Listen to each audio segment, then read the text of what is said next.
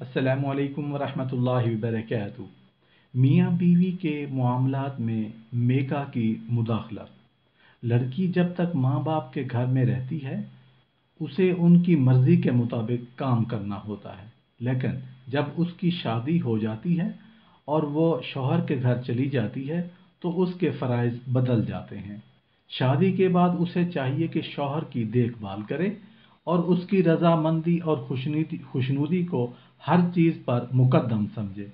हती कि जहाँ पर माँ बाप और शोहर की ख्वाहिश में तसादम हो रहा हो, वहाँ शोहर की इताअत करे और उसकी मर्ज़ी के मुताबिक अमल करे। खा उसके माँ बाप की रंजीदगी और नाराज़गी का सबब ही क्यों ना बने? क्योंकि शोहर की खुशनुदी हासिल करने से उनसे मोहब्बत का रिश्ता जो कि शादीशुदा ज़िंदगी की बका का जामिन होता है, मुस्तहकम तर हो जाएगा।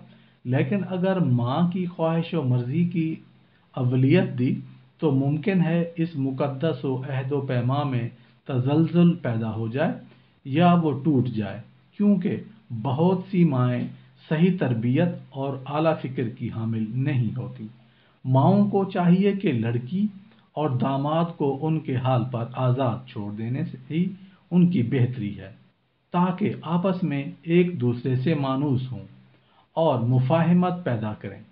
अपने हालात के मुताबिक अपनी ज़िंदगी के प्रोग्राम को तैयार करके उस पर अमल करें।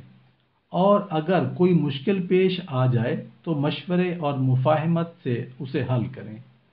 सही तालीम व तरबियत से आरी ख़वातीन चूँकि इस मसलहत को समझ नहीं पाती, इसलिए इस फ़िक्र में रहती हैं कि दामाद को अपनी मर्ज़ी के मुताबिक चलाएँ। इसलिए बराह रास्त और बिलवास्ता तौर पर उनके अमूर में मुदाखलत करती हैं और इस मकसद के तहत अपनी से जो कि अपी जवान और नातजर्बाकार है और अपनी भलाई पराई से पूरी तरह आगाह नहीं है, इस मामले में मदद लेती हैं। उसको दामाद पर असरअंदाज होने के लिए आला कार के तौर पर इस्तेमाल करती हैं कि अपने शौहर से किस तरह बर्ताव करो, क्या कहो, क्या ना कहो। अगर दामाद ने उनकी मर्ज़ी पर चला चला या कहने लेकिन उसने सरताबी की तो लड़ाई झगड़ा रस्साकशी और ज़िद का सिलसिला शुरू हो जाता है। शाहलो लड़की को शौहर की बुराइयाँ करके बदजन और सर्द महर बना देती हैं।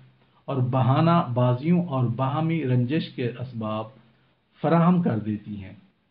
इस बेजा जिद और गलत तरबियत का नतीजा ये निकलता है कि बात तलाक तक जा पहुँचती है।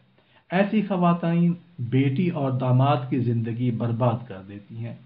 एक अक्लमंद और होशियार लड़की को चाहिए कि शादीशुदा ज़िंदगी को खुश खुरम गुजारने और बरकरार रखने के लिए बगैर सोचे समझे अपनी माँ के अफकार ख्याल को कबूल न करे और उसे सौ फ़ीसद दुरुस्त और मसलहत के मुताबिक तस्वुर न कर ले, बल्कि अपने खावंद के साथ इस मुश्तर ज़िंदगी को खुशहाल और पुरमसरत बनाने की कोशिश करे। अच्छे अखलाक और किरदार के ज़रिए अपने शोहर को खुश रखे।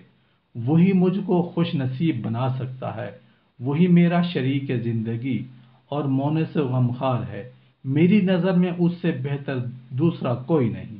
नबी करीम सल्लल्लाहु अलैहि वसल्लम का इरशाद ग्रामी है कि तुम में से बेहतरीन औरत वो है जिसके ज़्यादा बच्चे हों, शौहर से मोहब्बत करने वाली, पाक दामन और बाहया हो। अपने शौहर की मुती और फर्मा बरदार हो। अपने शौहर के लिए आरइश करे। खुद को गैरों से महफूज रखे। अपने शौहर की बात सुने। और उसकी इतात करे। जब दोनों तनहा हों तो उसके इरादे पर अमल करे, लेकिन हर हाल में शर्म हया का दामन हाथ से ना छोड़े।